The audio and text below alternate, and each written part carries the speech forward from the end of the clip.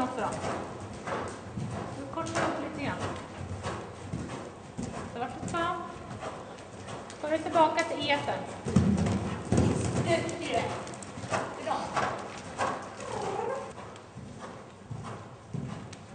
Så ytter. Ta inte så mycket inuti, ytter.